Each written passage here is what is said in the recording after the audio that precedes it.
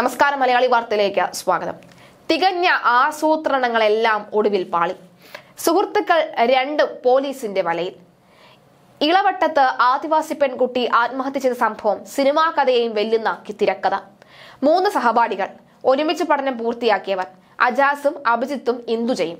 എന്നാൽ ഇന്ദുജയുടെ മരണത്തിന് കാരണക്കാരനായി പോലീസ് കണ്ടെത്തിയത് അജാസിനെ. സംഭവത്തെക്കുറിച്ച് പോലീസ് പറയുന്നത് നമുക്ക് നോക്കാം.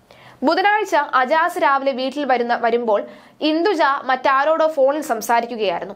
വീടിന്റെ രണ്ടാം നിലയിൽ അകത്തെ മുറിയിൽ ഇരുന്ന് സംസാരിച്ചു കൊണ്ടിരുന്ന ഇന്ദുജയുടെ ഫോണ് അജാസ് പിടിച്ചു വാങ്ങി. ഇന്ദുജ നിരന്തരം മറ്റൊരു യുവാവിനെ വിളിക്കുന്നതായി അജാസ് സംശയിച്ചു. ഈ വിവരം അഭിജിത്തിനെ അറിയിച്ചു. തുടർന്ന് അജാസ് ഇന്ദുജയെ കാറിൽ കയറ്റിക്കൊണ്ട് പുറത്തേക്ക് കൊണ്ടുപോയി. നേരെ പോയത് ശംഖുമുഖത്തേക്ക്. ഇവിടെ എത്തിയ ഇരുവരും വാക്കേറ്റവും കയ്യാങ്കളിയുമായി. തുടർന്ന് അജാസ് ഇന്ദുജയെ ക്രൂരമായി മർദ്ദിക്കുകയായിരുന്നു. ഈ വിവരങ്ങളെല്ലാം അപ്പോൾ തന്നെ അജാസ് അഭിജിത്തിനെ വിളിച്ചു പറഞ്ഞു. രാത്രി വീട്ടിൽ കൊണ്ടാക്കിയ ഇന്ദുജ വെള്ളിയാഴ്ച രാവിലെ പതിനൊന്ന് മണിയോടെ അജാസിനെ വീണ്ടും വിളിച്ചു. താൻ ആത്മഹത്യ ചെയ്യാൻ പോവുകയാണെന്ന് അറിയിച്ചു. ഉടൻ തന്നെ അജാസ് ഈ വിവരം അഭിജിത്തിനെ അറിയിച്ചുവെന്നാണ് പോലീസ് പറയുന്നത്. അഭിജിത്ത് വീട്ടിലെത്തി മൃതദേഹം താഴെ ഇറക്കി ജില്ലാ ആശുപത്രിയിൽ എത്തിക്കുമ്പോൾ അവിടെ എല്ലാ മുന്നൊരുക്കങ്ങളോടുകൂടി അജാസും ഉണ്ടായിരുന്നു. പോലീസ് അന്വേഷണത്തിന് ഇരുവരും വിളിച്ചു വരുത്തുമ്പോൾ അജാസും അഭിജിത്തും വാട്സ്ആപ്പ് ചാറ്റുകളെല്ലാം ഡിലീറ്റ് ചെയ്തിരുന്നു. പാലോട് നവവധു ഇന്ദുജയുടെ ആത്മഹത്യയിൽ ഇപ്പോൾ നിലവിൽ പോലീസ് കസ്റ്റഡിയിലുള്ളത് രണ്ടുപേരാണ് എന്നാൽ ഈ സംഭവത്തിൽ പുറമെ നിന്ന് മൂന്നാമതൊരാൾ കൂടി ഉണ്ട് എന്നാണ് വ്യക്തമാകുന്നത്. മരിച്ച ഇന്ദുജയെ അജാസ് ആണ് കൂടുതൽ ഉപദ്രവിച്ചത് എന്നാണ് പോലീസ് അന്വേഷണത്തിൽ വ്യക്തമായത്. യുവതിയെ ആത്മഹത്യയിലേക്ക് തള്ളിവിട്ടത് അജാസിന്റെ ഗൂഢാലോചനയാണോ എന്നതാണ് പോലീസിന്റെ സംശയം. ഇന്ദുജയുമായി അടുത്ത ബന്ധമുണ്ടായിരുന്ന അജാസ് യുവതിയുടെ ഫോൺ വിവരങ്ങളെല്ലാം നശിപ്പിച്ചിട്ടുണ്ട്. ഇതിന് പിന്നിലെ ആസൂത്രണമാണ് പോലീസ് സംശയിക്കുന്നത്. ഇന്ദുജയുടെ മൊബൈൽ ഫോൺ അജാസ് ഫോർമാറ്റ് ചെയ്തത് എന്തിന് എന്ന ചോദ്യമാണുള്ളത്.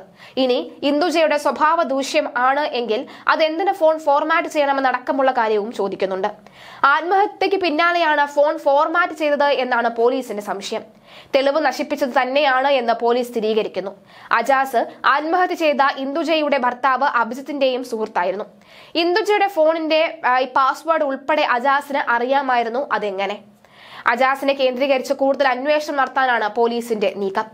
ഇന്ദുജ ആത്മഹത്യക്ക് മുൻപ് അവസാന ഫോണിൽ വിളിച്ചത് അജാസിനെയായിരുന്നു. കേസിൽ ഭർത്താവ് അഭിജിത്തിന്റെയും അജാസിന്റെയും അറസ്റ്റ് ഇന്നലെ തന്നെ രേഖപ്പെടുത്തി. അഭിജിത്താണ് കേസിലെ ഒന്നാം പ്രതി. അജാസിനെ രണ്ടാം പ്രതിയാക്കിയാണ് കേസ് എടുത്തിരിക്കുന്നത്. അജാസ് മർദ്ദിക്കുന്നത് കണ്ടെന്നാണ് ഭർത്താവ് അഭിജിത്ത് മൊഴി നൽകിയിരിക്കുന്നത്.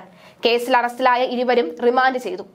സംഭവത്തിൽ അജാസിന്റെ സാന്നിധ്യമാണ് കേസിന് വഴിത്തിരിവായതും അറസ്റ്റിലേക്ക് വഴിവെച്ചതും.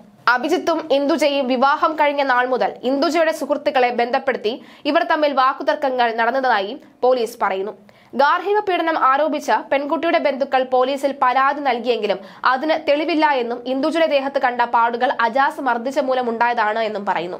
Kattakada DYSP N Shibu Palode S HO Aneesh Kumar S ഐമാരായ റഹീം രാജൻ എന്നിവരുടെ സംഘമാണ് അറസ്റ്റ് ചെയ്തത്.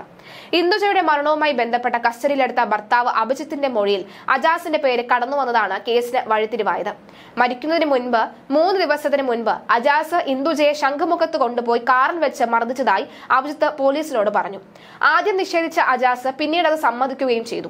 ഇന്ദുജ മരിക്കുന്നതിന് മുൻപ് ആരെയോ ഫോൺ ചെയ്തതായി അഭിജിത്തിന്റെ അമ്മുമ്മ പറഞ്ഞതനുസരിച്ച് നടത്തിയ അന്വേഷണത്തിൽ അജാസിനെയാണ് വിളിച്ചതെന്ന സൂചനയുണ്ട്. അറസ്റ്റ് നടന്നെങ്കിലും അജാസിന്റെ പങ്കും അനുബന്ധ വിഷയങ്ങളും കൂടുതൽ പ്രതികളുണ്ടോ എന്നടക്കമുള്ള കൂടുതൽ അന്വേഷണത്തിന് വിധേയമാക്കുമെന്നും പോലീസ് പറയുന്നു. അന്വേഷണം നെടുമങ്ങാട് ഡിവൈഎസ്പി ഏറ്റെടുത്തു. അഭിജിത്തിന്റെയും ഇന്ദുജയുടെയും കോമൺ ഫ്രണ്ടാണ് അജാസ്. ആത്മഹത്യ ചെയ്ത ദിവസം പെൺകുട്ടിയെ അവസാനമായി കണ്ടത് മറ്റാരോ ആയി ഫോണിൽ കൂടി സംസാരിക്കുമ്പോഴായിരുന്നുവെന്ന് അഭിജിത്തിന്റെ അമ്മുമ്മ പോലീസിനോട് പറഞ്ഞിരുന്നു. ഇത് അജാസിനോടായിരുന്നു എന്നാണ് വ്യക്തമാകുന്നത്. അജാസും അഭിജിത്തും ചേർന്ന പെൺകുട്ടിയെ തങ്ങളുടെ ജീവിതത്തിൽ നിന്ന് മാറ്റുന്നതിന് വേണ്ടി നടത്തിയ നാടകം ഒടുവിൽ പെൺകുട്ടിയെ ആത്മഹത്യയിലേക്ക് നയിച്ചുവെന്നാണ് സൂചനകൾ. ജാതി ചൂണ്ടിക്കാട്ടി അഭിജിത്തിന്റെ കുടുംബം ഇരുവരുടെയും വിവാഹത്തിന് എതിർത്തിരുന്നുവെന്ന് ഇന്ദുജയുടെ വീട്ടുകാരും നിരന്തരം ആരോപിക്കുകയാണ്.